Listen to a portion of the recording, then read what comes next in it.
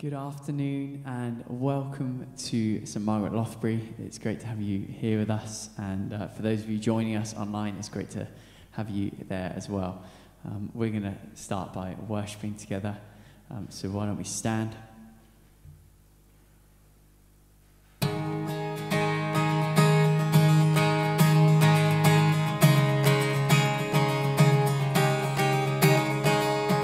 thanks to the Lord our God and King.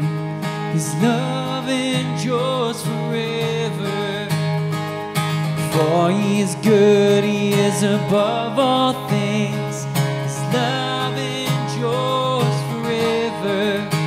Sing praise, sing praise with a mighty hand, with a mighty hand and an outstretched arm. His love endures forever. For the life that's been reborn, His love endures forever. Sing praise, we worship you, God. Sing praise.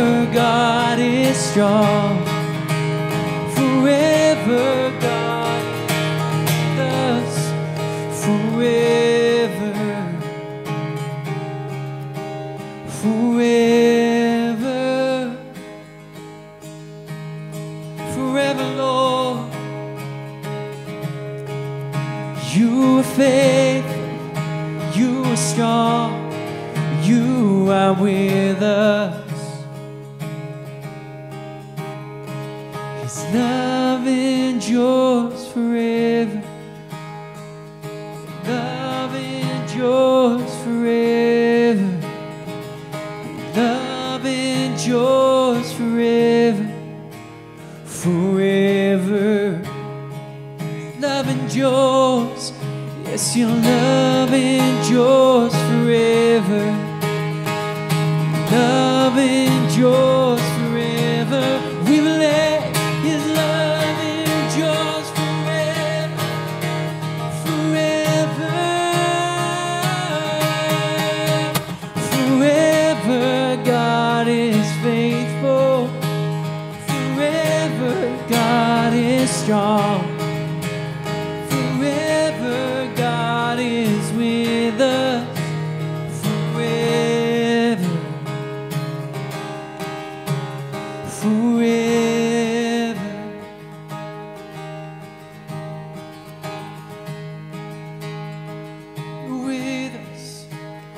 forever. Now, for those of us in the church building, government advises that we sh- still shouldn't be singing, but uh, we're allowed to speak, and I think probably we're allowed to shout, um, and we're going to do a new song now. And in the chorus, there's uh, a line which says, "We shout out your praise." So um, I think we'll probably be okay to shout out God's praise for that line. Um, but just make sure it's not very tuneful. Um, just try not to sing it, try to shout it. Um, but it's called House of the Lord. So we worship to the God who was. We worship the God who is. We worship the God who evermore will be. He opened the prison doors. He parted the raging seas. Our God, He holds the victory. Joy in the house of the Lord. There's joy in the house of the Lord. Today, we won't be quiet. So we shout out your praise. There's joy in the house of the Lord. Our God is surely in this place. We won't be quiet. So we shout out your praise.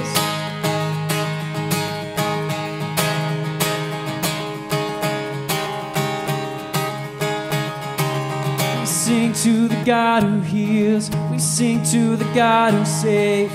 We sing to the God who always makes a way. Hung up on that cross, He rose up from that grave. My God, still rolling stones away. This joy in the Lord. This joy house the Lord today. We won't be quiet. Your praise, this joy the Lord. Our God is surely in this place. We won't be quiet. So shout out your praise.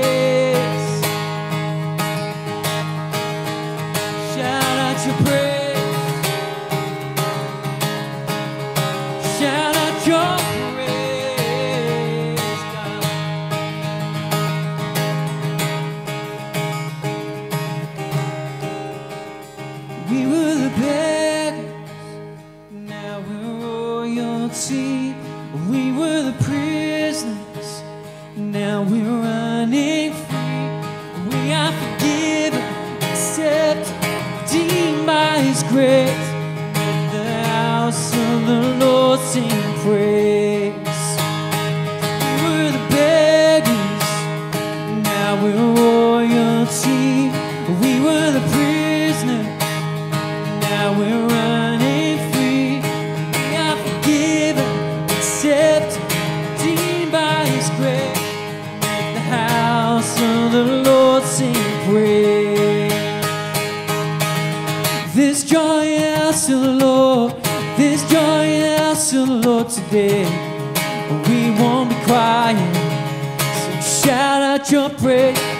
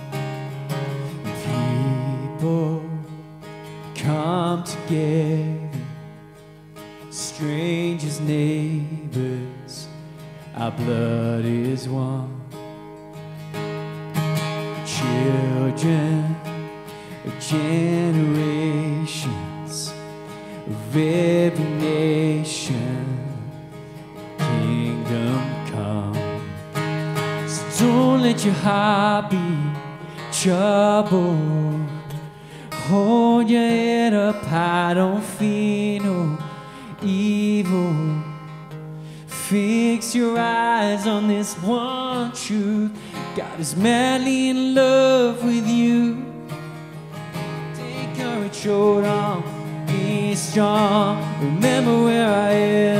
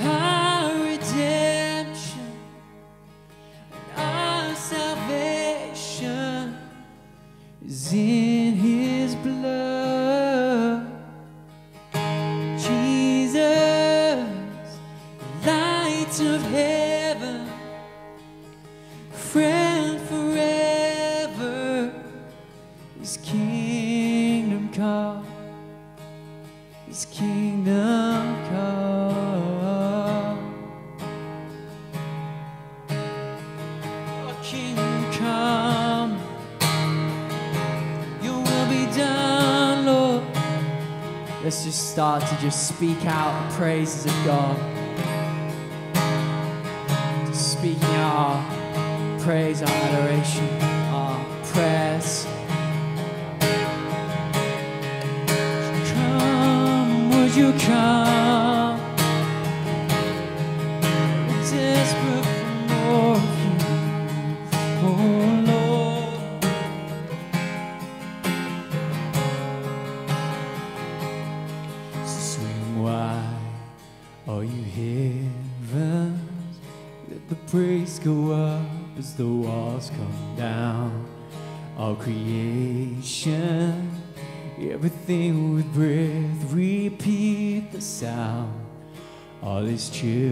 gem, clean hands, pure hearts, good grace, good God. His name is Jesus.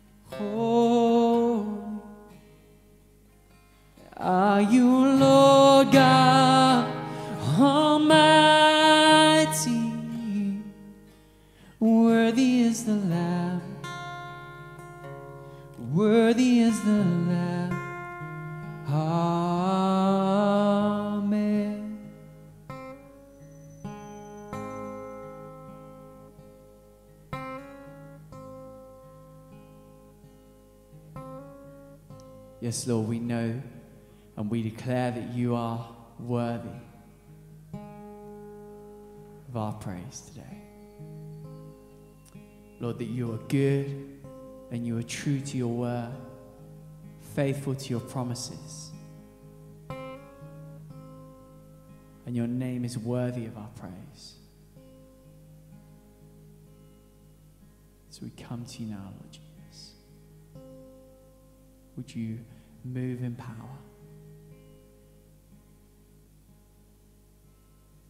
Amen.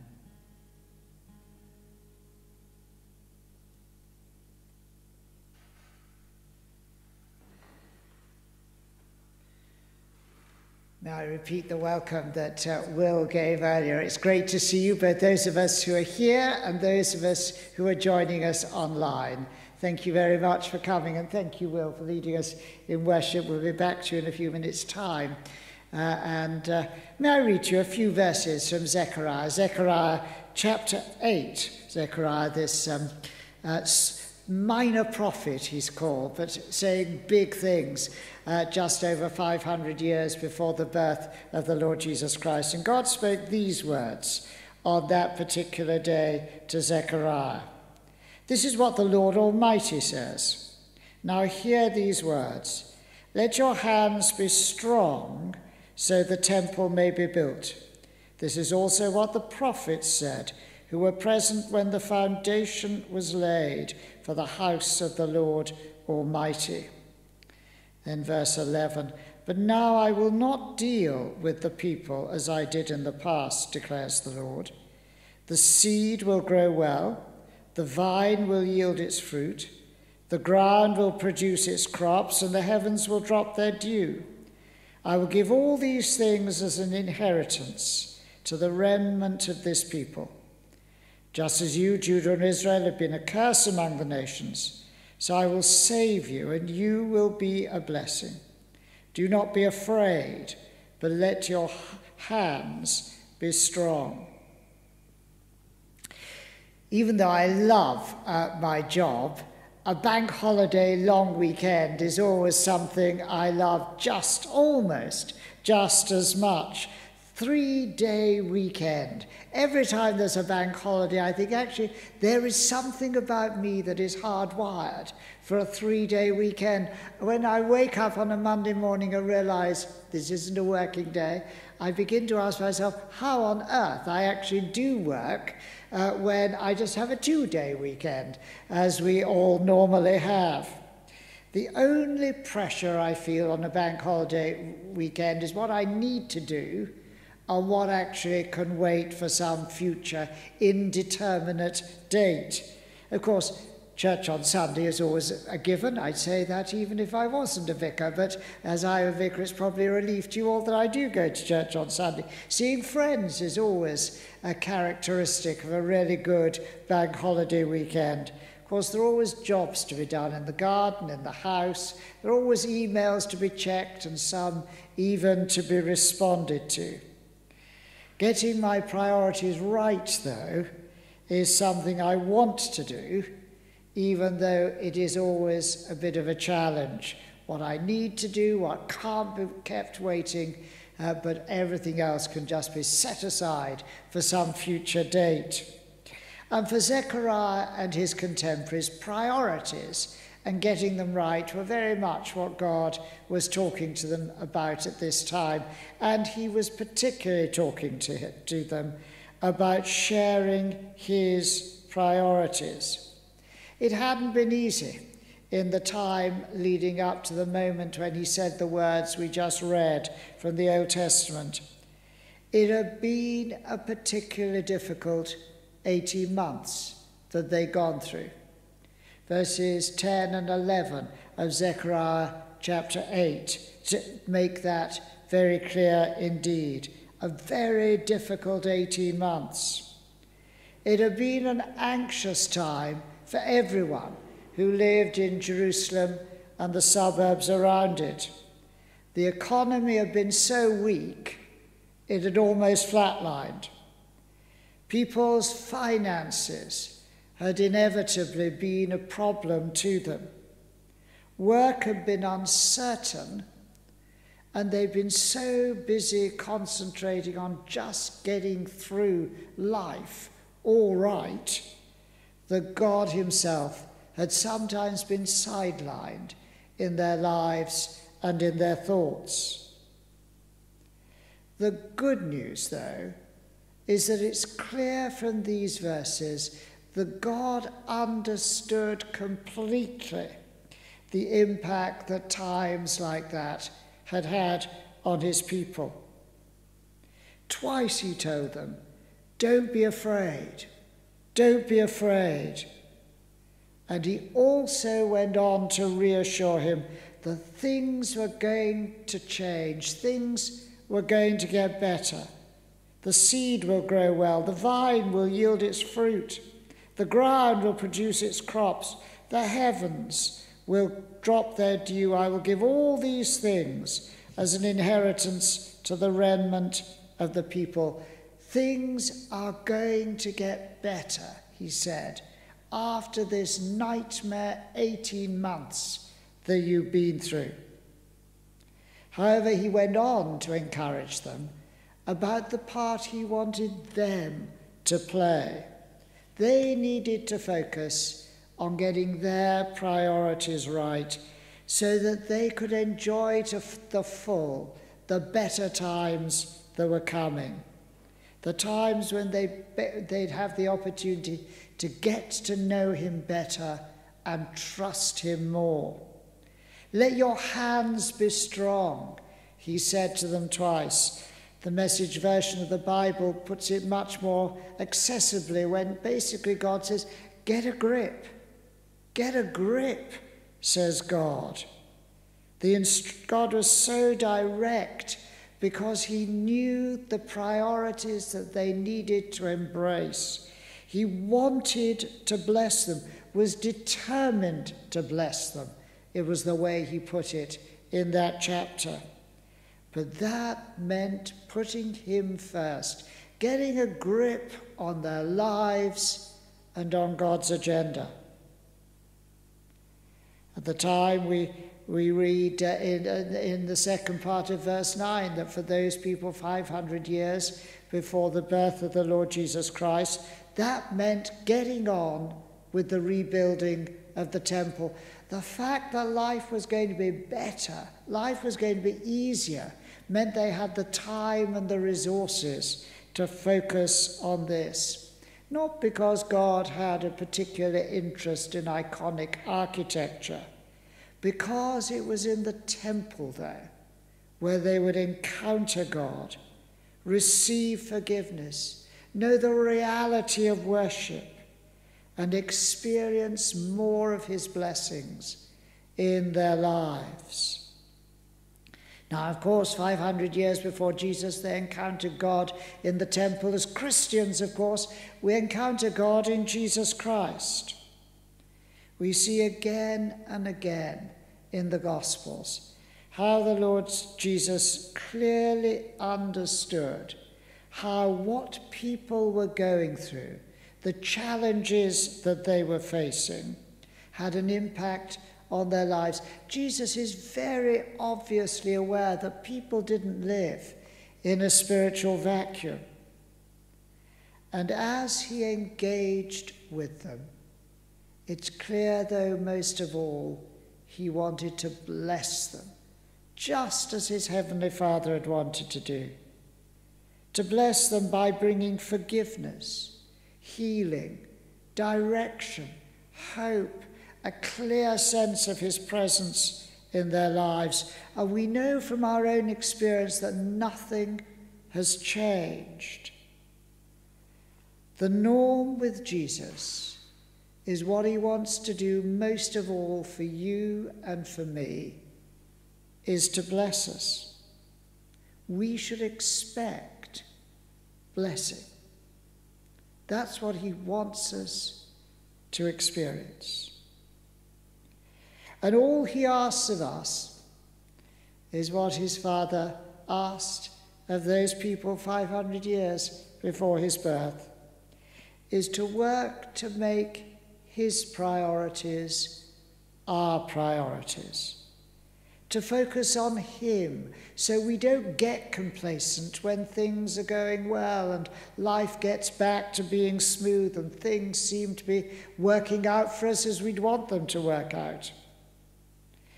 To seek His priorities so we can receive the blessing He wants to give us.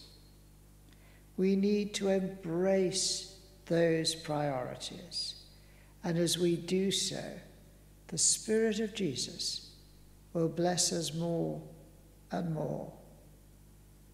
And as I reflected on this, I thought, now, Lord, where do my priorities need to change? On Saturday afternoon, it was um, doing some weeding in the garden rather than sitting down and reading the newspaper, which is what I wanted to do. And so often in my Christian life, there are things I know I should do, but there seem to be so much more fun things to do rather than addressing the priorities God has. The encouragement, though, is He wants to bless us. God says, I am determined to bless us. And Jesus says the same. As Will comes and leads us in worship, now let's just stand, shall we, together, and just say to the Lord, Lord, I want to receive your blessing. I want to receive every ounce of the blessing you have for me. You know we're still coming out of the 18 months when things are difficult. You know that things are uncertain, you know we get anxious, Lord. But we believe your promises that good times are coming. We want to be ready for those. We want to embrace your priorities, but we need your blessing and know you're determined to bless us. Come, Spirit of the living God, I pray. Come bless us today. Come bless us today.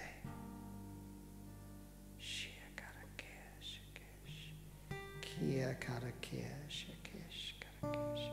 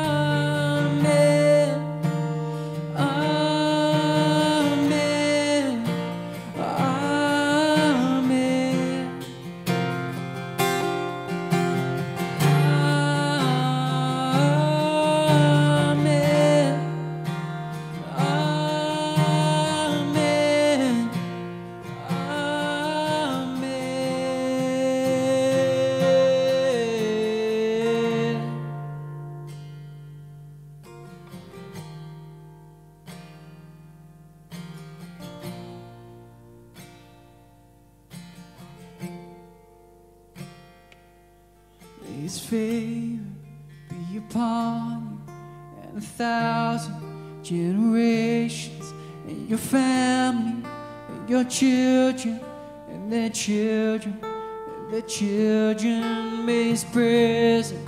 Go before you, behind you, beside you, all around.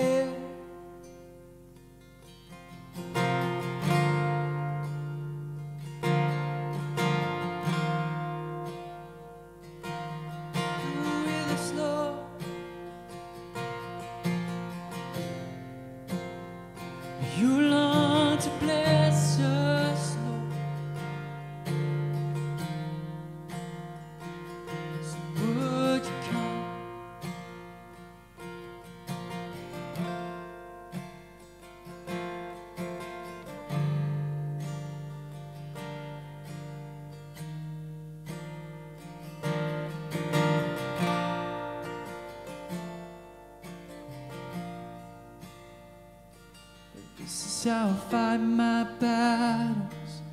This is how I fight my battles. This is how I fight my battles. This is how I come to you. This is how I fight my battles. This is how I fight my battles. This is how I fight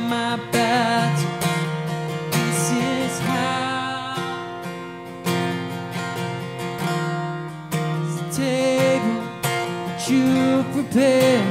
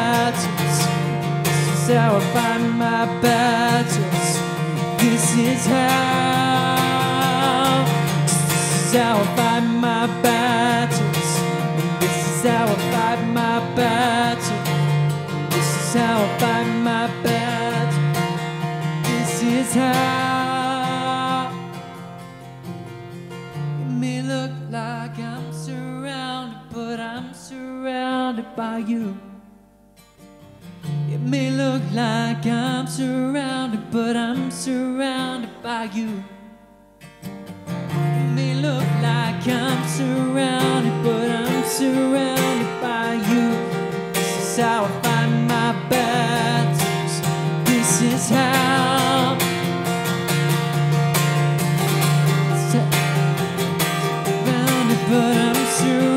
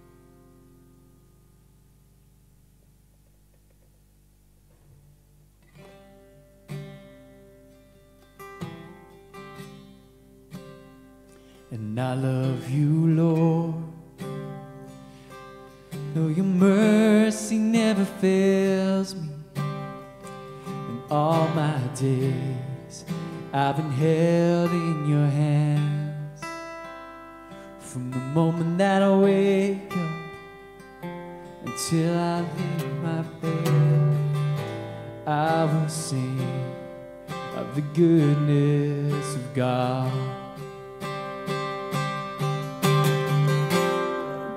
This is running off, running after me. Your goodness is running off, running after me. When my life laid down, I'm surrendered now. I give you everything. Cause your goodness is running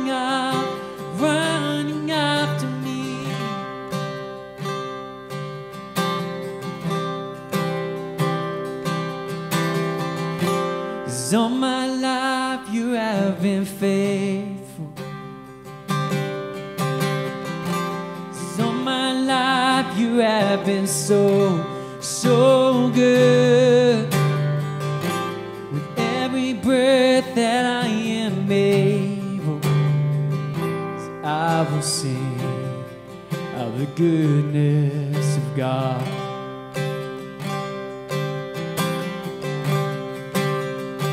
And I love your voice.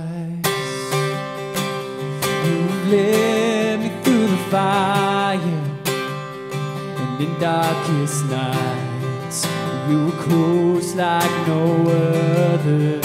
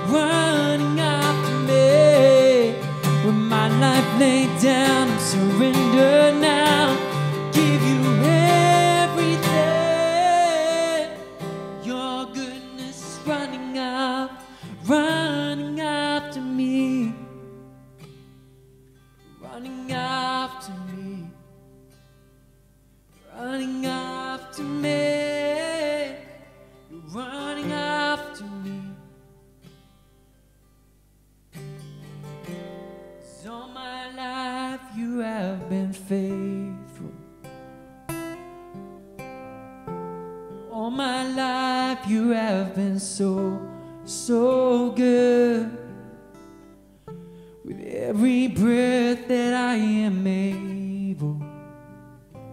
I will sing of the goodness of God. I will sing of the goodness of God. I will sing of the goodness of God.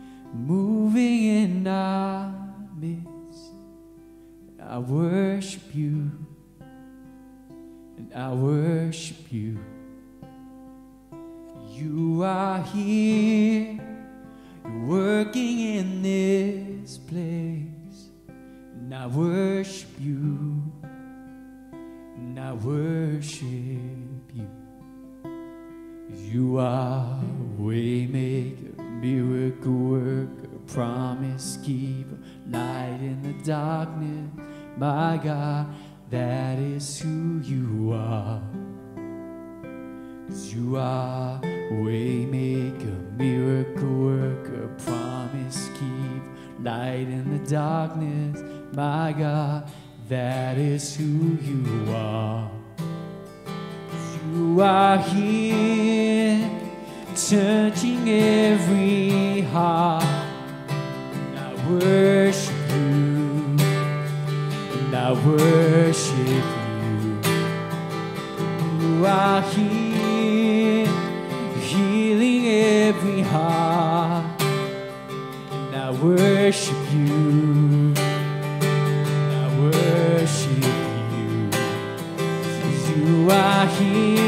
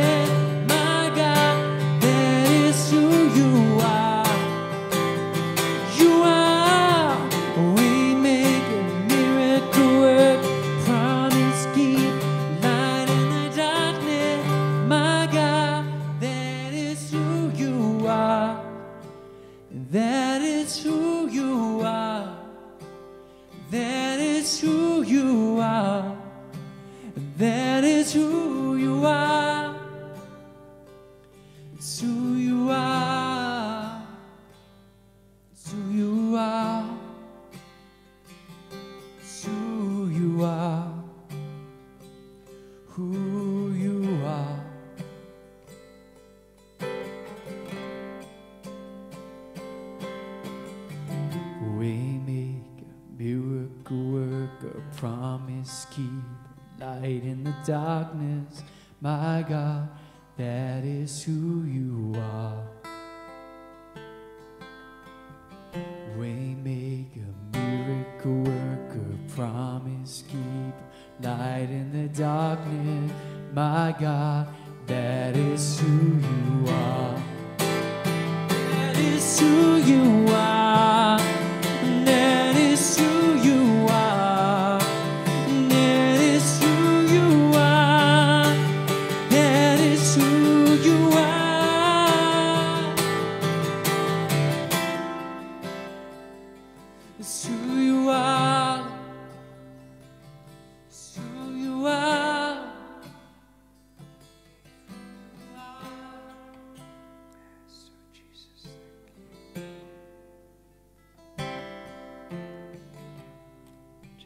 Sense that uh, description of God jumping out, uh, promise keeper, and I just had a feeling that there's someone here who the Holy Spirit wants to encourage afresh by saying that God is indeed the promise keeper. He will be faithful to his promises. Even though you may be waiting for those promises to be fulfilled, he will be faithful. I think just couldn't help feeling there's someone who needed to hear that underlined today. Thank you, Lord.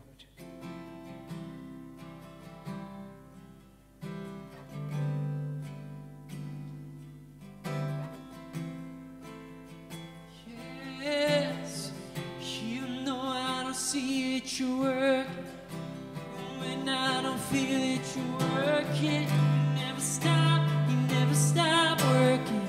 You never stop, you never stop even when I don't see it, you're working. Even when I don't feel it, you're working.